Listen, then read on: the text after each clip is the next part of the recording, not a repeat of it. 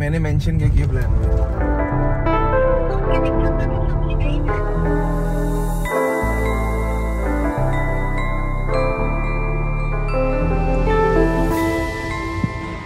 and finally at CP पता नहीं सुनाई देगा या नहीं बट यहाँ पे मास्क उतारना ना अलाउड नहीं है क्योंकि यहाँ पे उस दिन हमने ट्रिक कर दिया था पुलिस वाले को। एक आंट ने मास्क नहीं पहना हुआ था और मैंने मास्क पहना हुआ था और पुलिस वाले ने देख लिया। आ रहा है तेरा और ना वो एकांश को पकड़ने के लिए आ रहा था कि इसको पकड़े, इसका चलान करे बट इस बार मैंने इसका मास्क से चलान होते होते बचा लिया। मैंने इसको अपना मास्क दे दिया और मैं भाग के चली गई, इसकी मम्मा के पास मास्क लेने फाइनली फ़ूड इज़ योर बड़ी जद्दोजहद के बाद। इतना बड़ा इसने ग्लास मंगा लेता है ये हमेशा। और बेचारा वो बंदा सर्व कर रहा था हमें। Yo ETF I you punk to work now yo yo yo तो आप लोगों ने छह सौ रुपए के समोसे को इतना फ़ेमस कर दिया है। लो अब देखो सौ रुपए का पानी। दो सौ एम पानी एक गिलास पानी हमें मिला सौ रुपए का। जब मैंने इसको बोला कि मेरे को कुछ पीना नहीं है मैं सिर्फ़ पानी पीऊँगी। टोटल बिल आठ सौ रुपए का है और उसमें से सौ रुपए का सिर्फ़ पानी है। और उसमें ये सब ये सब भी है। सौ रुपए का पानी तीन सौ रुपये गर्म पानी उसके बाद तीन सौ रुपये की ब्रेड दो सौ तीन सौ रुपये का समोसा। समोसा। तो सौ कैसे बोलते हैं? बोलियो जरा। गवार लोगों को ले आए हो ना मैं गरीब गरीबा। गरीबा। भैया मेरे मम्मी पापा मेहनत करके पैसे कमाते हैं।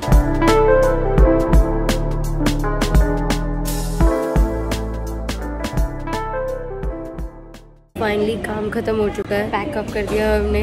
बहुत ही बढ़िया फीलिंग आ रही है। हम सोचते हैं हर रोज़ प्लान करते हैं। छः बजे तक हमारा दोनों का काम खत्म हो जाए। ताकि हम छः से बारह अपना वर्कआउट कर सके चिल कर सके, या कुछ नया सीखना है तो नया सीख सके समथिंग प्रोडक्टिव तो हमने ऐसे ना अपने दिन को डिवाइड कर रखा है।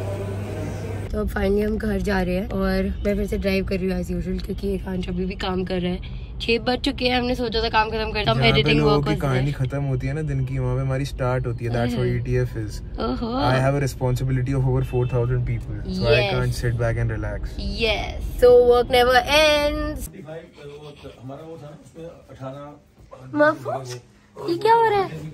ये क्या हो रहा है? मफू। हमारे पास दो पड़ी है मेरे पास पड़ी है मच्छी गाड़ी में ले जाएँगे। है मफू। जो पैसा बताओ सिर्फ़ मेरे व्लॉग्स में आपको नेकेड ईटीए मिलेगा। वैसे इसके व्लॉग में भी नेकेड ही होता है। मेरे लोग ऊपर से नहीं गिरता तेरे लोग नीचे से होता है। लोग कहेंगे कपड़े को पहनता है इंसान। और हम खा रहे हैं अपना प्री वर्कआउट मील ये कह रहा था मैं मास्क एब्जॉर्ब वालों का है। कितना बड़ा अच्छा है है। यार। और लूज भी है यहाँ पे। और इसका फाइनली एक मास्क मिल गया तेरे को जो कंफर्टेबल इसका मटेरियल बहुत बहुत ही ज़्यादा सॉफ्ट भाई कितना सॉफ्ट है। इसलिए कह रहा था मैं। वाओ ये से मास्क बना दे। क्या बोलती है पब्लिक ईटीएफ का मास बना दे फिर कैसे देंगे इनको? मीटअप रख के। करेंगे गरीबा। गरीबा। Bye bye no workout today bye जा रही हूँ मैं।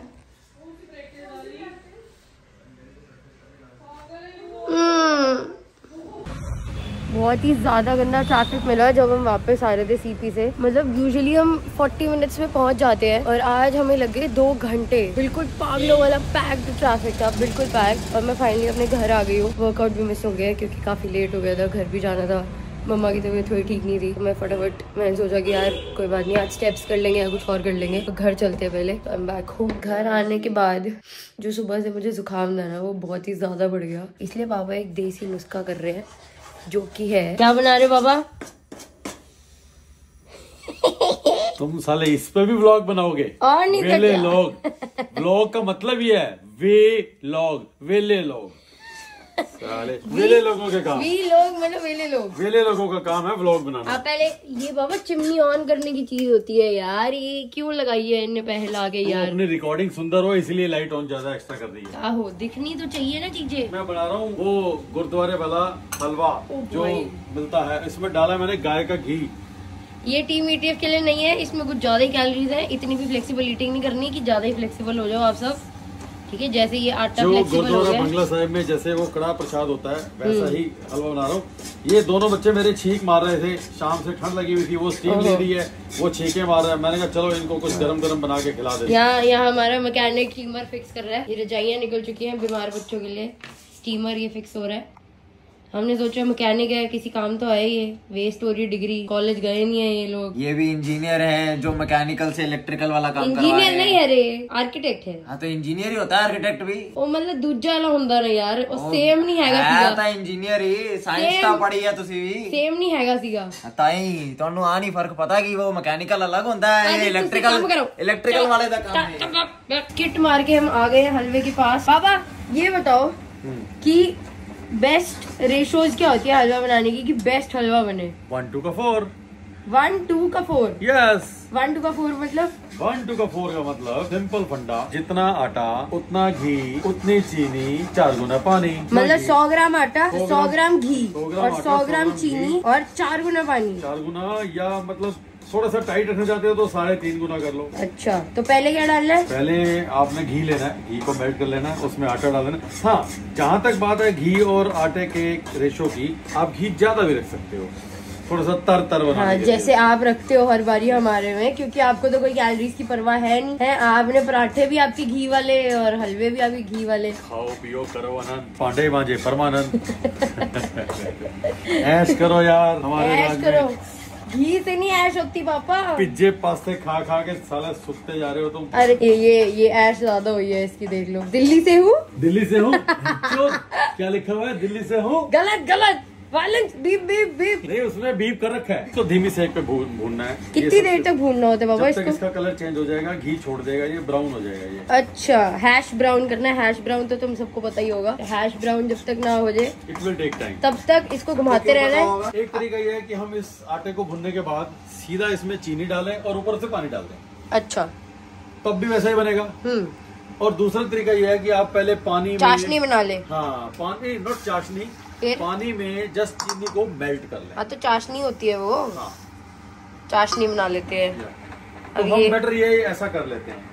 ताकि इजी रहता कभी कभी क्या होता है कि जब आप डायरेक्ट चीनी डाल के पानी डालते हो तो चीनी के दाने बीच में अनमेल्ट रह जाते हैं तो वो क्रंच क्रंची सा आता है वो थोड़ा सा सही हम्म, तो अगर आपको क्रंची खाना हो ना। नहीं नॉट क्रंची वो थोड़ा सा अगर आपने लापरवाही से किया इसको हाँ। जो मतलब वो अच्छे से- से मिक्स नहीं होता है। हाँ, तो वो ऐसा होता है तो उसको ऐसी स्थिति ना आए हम्म। तो उसके लिए चीनी को पहले पानी में मेल्ट कर लिया जाए। हाँ, जस्ट हम हम इसको इतना हीट करेंगे कि ये बॉयल नहीं होगा जस्ट चीनी मेल्ट हो जाए। ठीक है ठीक है। बढ़िया हम चीनी मेल्ट कर रहे हैं। देखो व्हाइट व्हाइट हो रहा है पानी। धीरे धीरे ना ये बिल्कुल थिक हो जाता है। ऑलमोस्ट मिक्स हो चुकी है। चाशनी नहीं बनाई है हमने। जस्ट पानी में मेल्ट किया हमने चीनी। और ये पानी है जो फोर टाइम्स है। ठीक है पापा इन्हें कड़ा प्रसाद। आटे ने घी छोड़ दिया। घी ऊपर ऊपर आ गया। देखो ये जब ऐसे हो जाए ना ये घी छोड़ दे ये आटा। ये देखो ऊपर ऊपर लेयर आ गई है घी। नीचे है polish polish mirror mirror finish आ रही है ना ये मिरर फिनिश जब आ जाएगी ना। आटा कंटिन्यूसली डालो कंटिन्यूसली डालो। डाल दो डाल दो डाल दो फटाफट। या नल।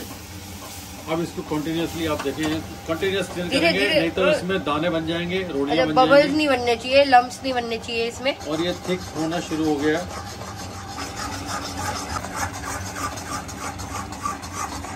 Texture it's almost done.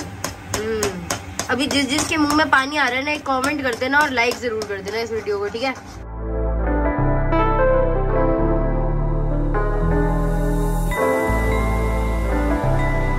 बेचारे हमारे लिए हिंदी में बात करते होते थे। लो जी ए कड़ा प्रसाद तैयार है। चलो बस करो हुन। एक प्रो ट्रिप देना है। क्या यार? एक प्रो टिप देना चाहूँगी मैं आपको। अगर आप स्टीम ले रहे हो तो जो सांस अंदर ले रहे हो नाक से और बाहर निकालो मुँह से तो इससे क्या होता है कि पूरे पैसेज में आपके नाक से गले तक का जो पैसेज होता है पूरा हीटअप हो जाता है और जो भी कंजेशन होती है वो खुल जाती है। एक चीज़ और बताना चाहूँगी। अगर आपका गला खराब नहीं है या आपका, आपको कोल्ड नहीं है, फिर भी आप स्टीम ले सकते हो, क्योंकि इससे बहुत ही अच्छा ग्लो आ जाता है फेस पे, क्योंकि इतना ज़्यादा water like you almost sweat और पूरा पूरा स्वेट निकल के बाद जो ग्लो होता है आपके फेस पे, सारी ऑयल डर्ट सब निकल जाता है। तो सुंदर, लाजवाब सा ग्लो आता है। You can do it for that back to it steam लेने की ना एक ट्रिक होती है कि आपको बहुत स्लोली ब्रीद इन करना है, ताकि बहुत अच्छे से आपके अंदर जो ऑर्गन्स है, वो एकदम हीटअप हो जाए और जो भी कंजेशन है वो खुल जाए। अरे वो स्टीम ले रही हूँ वीडियो बन रही है। बाय